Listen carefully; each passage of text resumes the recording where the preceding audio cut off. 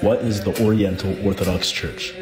The Oriental Orthodox Church is composed of six autocephalous churches the Coptic Orthodox Church of Alexandria, the Syriac Orthodox Church of Antioch, the Armenian Apostolic Church, the Malankara Orthodox Syrian Church, the Ethiopian Orthodox Tewahedo Church, and the Eritrean Orthodox Tewahedo Church.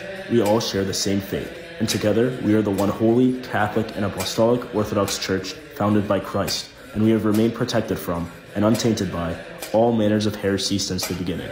We confess one incarnate nature of the Logos, one nature out of two, a holy divinity, co-essential with the Father and incorruptible, a holy humanity, begotten without seed, co-essential with us, according to the economy.